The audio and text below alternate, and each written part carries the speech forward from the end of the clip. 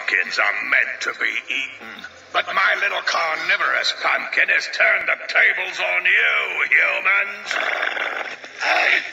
Don't worry. He only eats flesh within his reach.